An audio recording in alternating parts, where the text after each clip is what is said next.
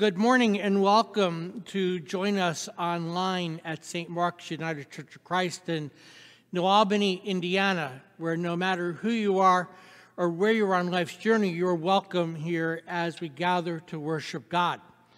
We do have several announcements to make, and we tried to include them in the worship guide that you saw online. If you're interested in starting your Christmas shopping early, our jingle bells from our Christmas shop have compiled a book called Great Ideas from A to Z. If you call the church office or email or call the number that you see on the worship guide, you can order one. They're a great stocking stuffer for Christmas. We are looking for Salvation Army bell ringers. If you are interested, please call the church office and we can arrange for you to do that. Today is going to be the Thanksgiving basket distribution, and people are invited to pick them up in the front door of the education building after worship this morning until 12:30 p.m. And we appreciate those people who are willing and able to deliver. Christmas is coming, and if you're interested in purchasing a wreath from TNT, 22 inch wreaths are $25, $25 and 28 inch wreaths are $35, and swags are $25 as well. Um, you may order them by calling the church office or calling Barbara Carnigan, and her name is listed, should be listed on that. Um, if not, please just call the church office and we'll do that. And Ken and the youth group are doing honey baked hams for Christmas. If you want to get learn more about that, you can contact Ken. But um, those are really wonderful things to have um, around the table at Christmas time. Um, everybody enjoys a, a good ham. And the flowers on the altar today are sponsored by Scott and Don Cash in celebration of their third wedding anniversary, which they're going to be celebrating on December 2nd. And today's worship guide is sponsored in loving honor of their son, Jason Allen, in celebration of his birthday, which is November 28th, by Steve and Sharon Allen. Let us take time to center ourselves with our morning prelude.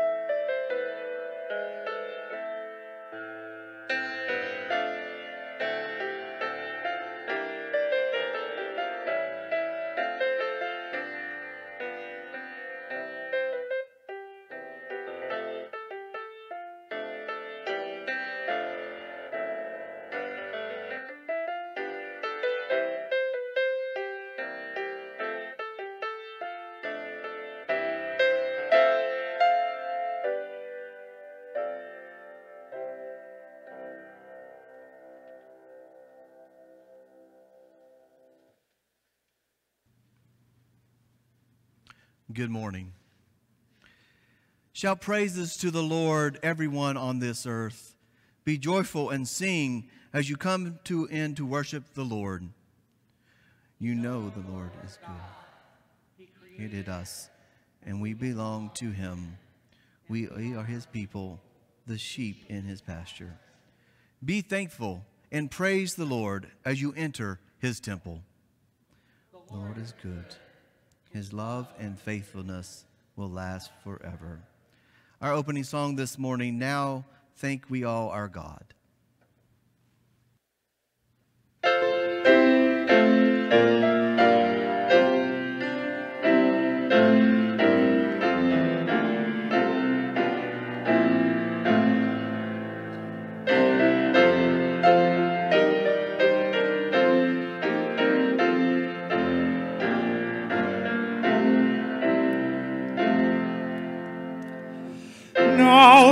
thank we all our God with heart and hands and voices, who wondrous things has done, in whom the world rejoices who from our mother's arms has blessed us on our way with countless gifts of love and still is ours today. All praise and thanks to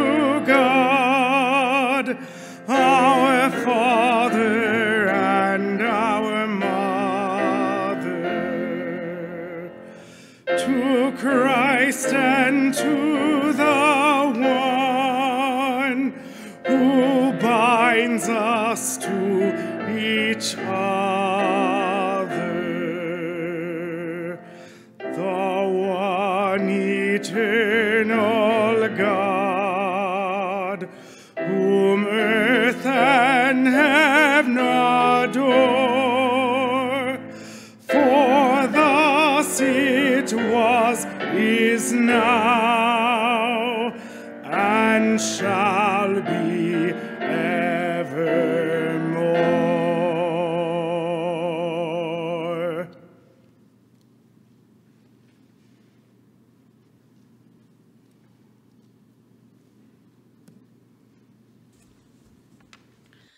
Please join me for the prayer of gathering. O come, let us sing for joy to the Lord. Let us shout joyfully to the rock of our salvation. Let us come into this presence with thanksgiving. Let us make a joyful noise to him with a song of praise. For the Lord is a great God and a great King above all gods. Amen. Surely the presence.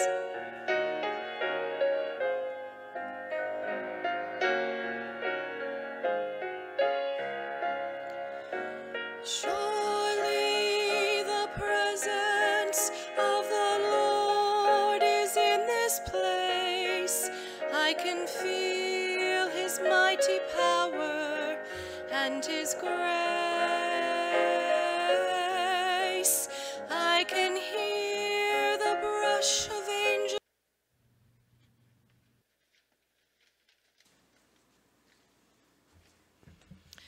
The scripture reading today is from 2 Timothy chapter 1 verses 9 through 10. God saved us and chose us to be his holy people. We did nothing to deserve this, but God planned it because he is so kind. Even before time began, God planned for Christ Jesus to show kindness to us. Now, Christ Jesus has come to show us the kindness of God. Christ, our Savior, defeated death and brought us the good news. It shines like a light and offers life that never ends.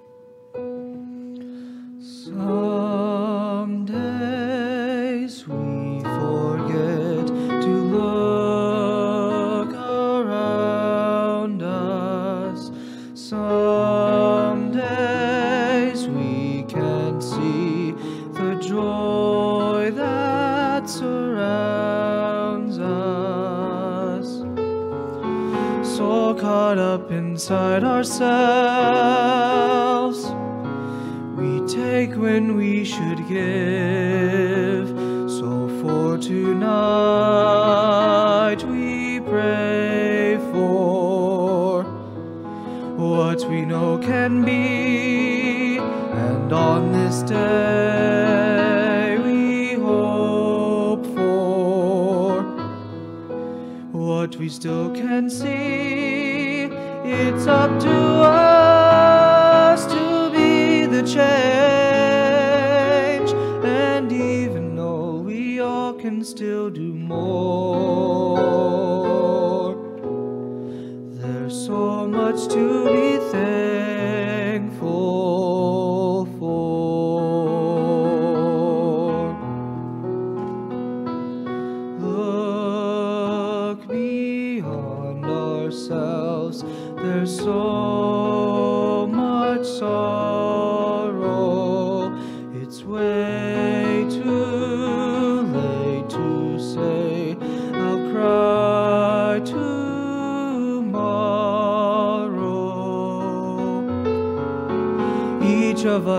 us find our truth so long overdue.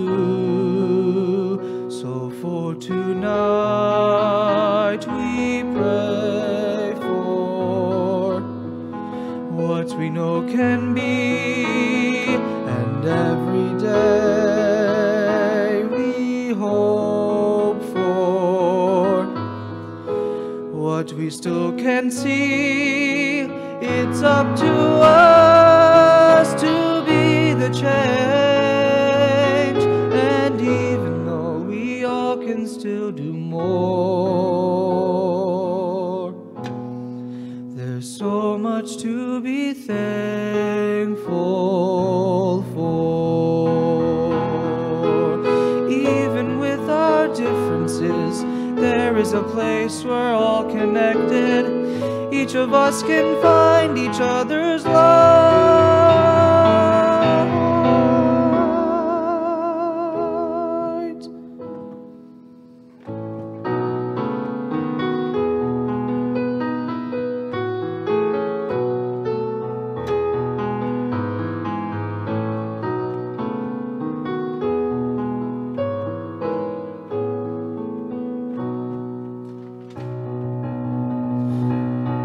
For tonight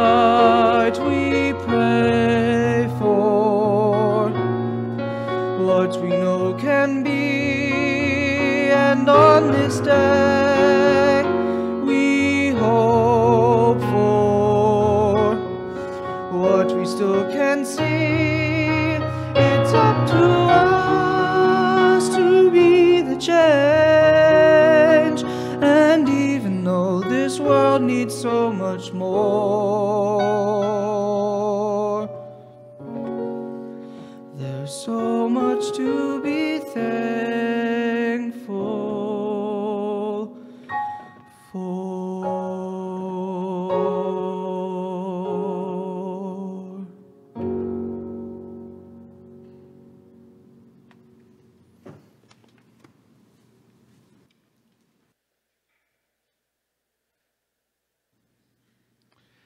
Thank you, Jesse. That was wonderful. Let us pray. May the words of my mouth and the meditation of all of our hearts be acceptable in your sight, O God, because you are our strength and our Redeemer. Amen. By most accounts, the first Thanksgiving was held on in October of the year 1621 by the Pilgrims. That was 399 years ago, and it was a lousy year. They had a decent harvest, but they'd endured tremendous amount of illness and death. And they could have wallowed in their grievances and no one would have blamed them. But instead of airing their grievances, they chose to offer thanks. So I was thinking about grievances and the grievances I have. And I decided I have my share of grievances. First, if you know me at all, you know one thing about me. I am very impatient and I do not like to wait. Slow drivers really annoy me a lot. When people pull up the drive through windows and have big orders, I get really annoyed. I don't like waiting through the drive through window at fast food places or at the bank. And then there are people who are slow at the ATM. If you're going to be that slow at the ATM, go at 2 o'clock in the morning when I'm not there. And then there are the grocery stores when people move slower than molasses at the checkout. Sometimes they're at the self checkout and can't figure it out. Or sometimes cashiers choose those moments to be friendly with people ahead of me. I don't want them to be friendly, I want them to move quickly. As I'm saying this, my blood pressure is rising.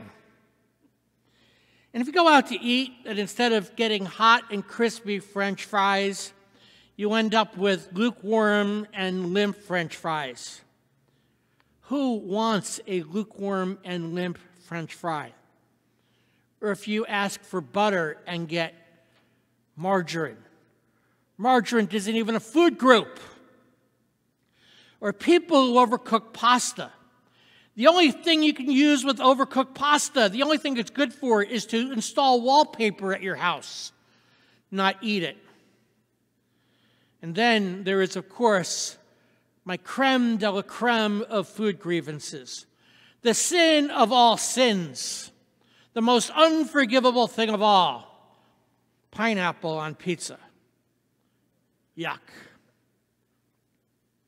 The passage we read today is from 2 Timothy. Scholars don't know if this was written by Paul's hand or someone with him. But here's what we do know these were Paul's sentiments, and this was the last of his letters. These are the final words that St. Paul has to Christianity and he's offering nothing but praise to God for all the blessings he had received and the goodness of God. Now, step back for a moment.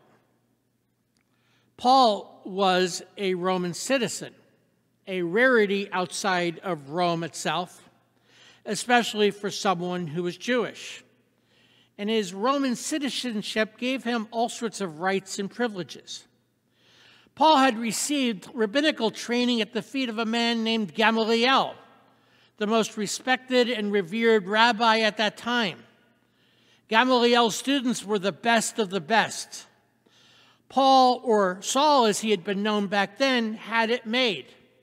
His life was one of great privilege, and he gave up all of that privilege when he chose to follow Jesus. His Roman citizenship now was not getting him anything. He was despised by the other students of Gamaliel, and Christians were skeptical of him. He had been arrested numerous times, survived boat wrecks, and had been tortured on multiple occasions. He was at this time close to death. His life as an apostle was really difficult, really difficult. And here, at the end of his life, instead of sharing his grievances, he decides to show gratitude. And in chapter 4 of this letter, Paul's words are amazing. He writes, Now the time has come for me to die. My life is like a libation being poured out on the altar. I have fought well, I have finished the race, and I have been faithful. So a crown will be given to me, pleasing to the Lord. God judges fairly, and on the day of judgment, God will give a crown to me and to everyone else who wants him to appear with power. I mean, wow. Paul is not a person filled with grievances, even in the midst of difficulties. Moving from grievances to gratitude is often based on how we personally respond to circumstances. I'm going to tell you a story about a woman on her deathbed. And she called her husband to her side, and she said to him, We have been married for 42 years. And in those 42 years, when I have been with you, I have survived cancer two times. And now, with this third occurrence, I'm dying. I've been with you, and I've had five different jobs, and I've been fired three times. And while I've been with you, I've broken both of my legs and one arm. So here is what I think about being with you through all of these hardships, with you always at my side. Stop for a moment. Stop for a moment and think. There are two ways this story can go. Most of us are probably thinking, well, you know, this is a sermon, so it's going to go one way. But it's a sermon, and if you know me, it might go the other way. So here are the two options. She could say to him, Through all of this, you have been at my side, and I've realized something. You've been really bad luck.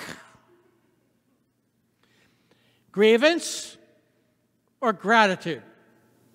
Answer is obvious grievance.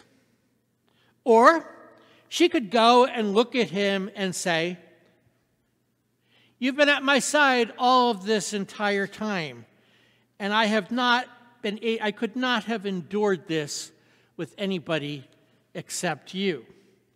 Thank you. Grievance or gratitude? The answer is obvious it's gratitude. So here we are, 2020. What a year! And here we are, we're remote again. And we may be remote for a while. The pandemic has cost over 250,000 people their lives. Many have died heartbreakingly alone. Many of the kids are going back to school remote. Many people have lost jobs and many businesses have gone under because of this. We can look at this year, at Thanksgiving of the year 2020, through the eyes of grievances. But I don't know about you. Sometimes when I think about the grievances I have, they're not all that big. Look at mine waiting at drive throughs and ATMs a friend of mine who's a retired dentist did dental work in Nicaragua years ago, and people walked for three days to have their teeth pulled. And he said this was so bad he was able to pull them out with his fingers. They'd been in incredible pain and walked day and night for three full days in order to have their teeth pulled. I can't imagine. And I'm complaining about waiting a few minutes and french fries and overcooked pasta and margarine, even pineapple on pizza. So many people go to bed hungry in the world, and I'm complaining over nonsense. St. Paul, who had it made, sacrificed so much to follow Christ, and at the end of his life said he was blessed. The pilgrims left comfortable lives in Europe and endured great hardship but they offered gratitude instead of grievances. And here we are worshiping remotely. And we can say, well, this is a real grievance. Except in North Korea, when the communists took over, they invited everybody to go to church one Sunday. They said all the Christians were free to go to worship. And they really encouraged all the churchgoers to go. And that Sunday, the churches were packed, they were filled, and people were filled with joy and gratitude that the communist government was letting them worship God. Then the soldiers came and nailed the doors shut, closed every exit to the church, and burned the churches down to the ground with the inside of them. A message was sent out do not worship God in North Korea. And we have grievances because we're having remote worship safely. I know I have a lot to be grateful for. I have a loving wife. I have two great kids. I live in a nice house.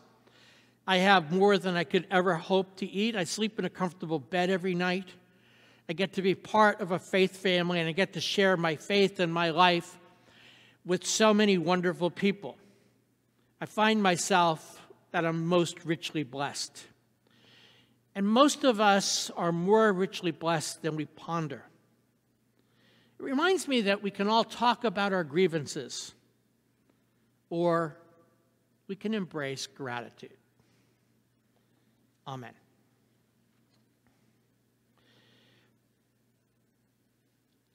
As we come together, there's a bunch of people I'd like to, us to remember in prayer. Um, the number of people with the coronavirus keeps going up, and the numbers are very high. Um, so we pray for your healing hand. Also, we pray for the family and friends of Reverend Lynn Young. Um, Lynn was a pastor in the Indiana Kentucky Conference who lost her life to the coronavirus this week. Um, and so we ask you to keep her congregation and her family and friends in your prayers. We continue to pray for David Cox, for Arthur Olemacher. Katrin Olemacher was in the hospital this week, and so we pray for her. Um, we continue to pray for Helen Knopfmeyer and for Susan Vincent, who's in the hospital in Florida.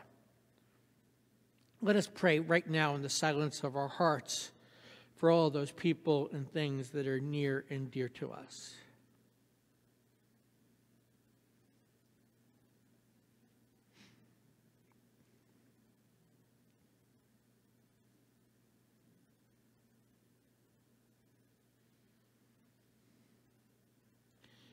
Let us pray.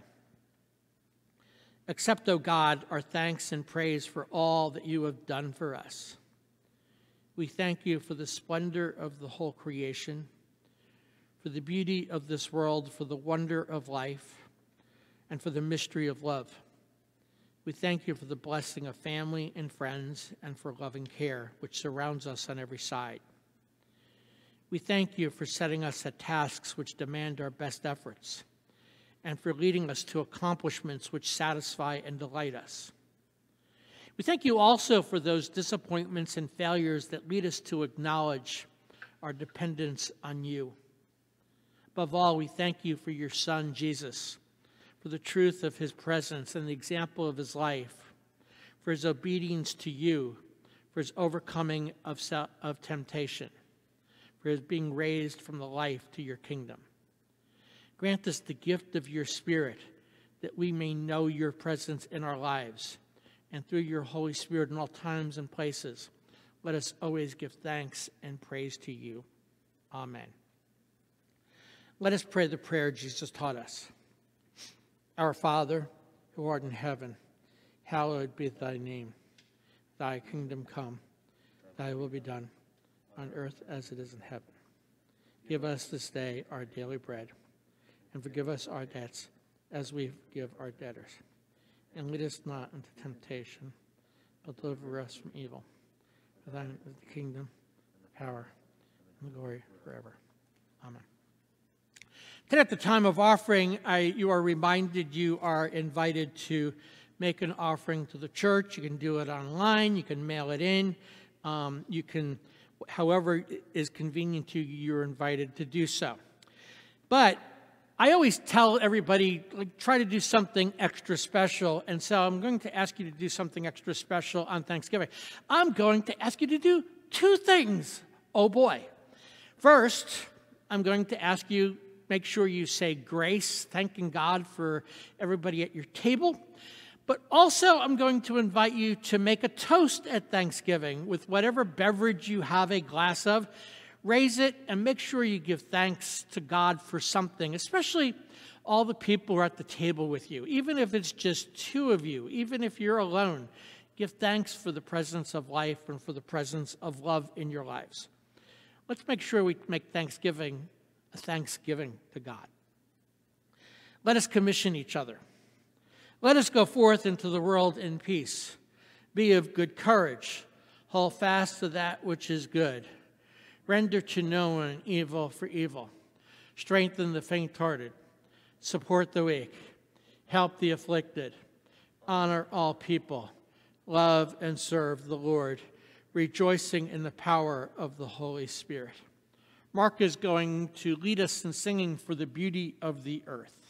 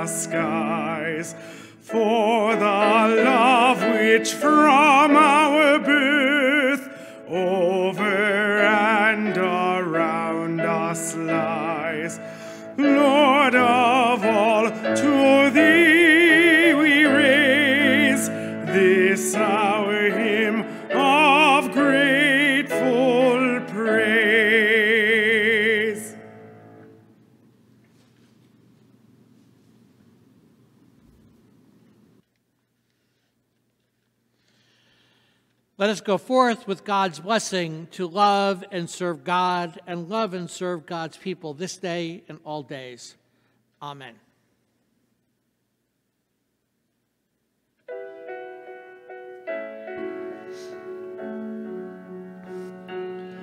May the road rise to meet you.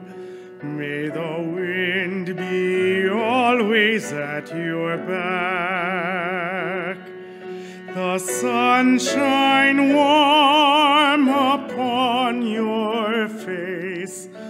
The rains fall soft upon your fields. And until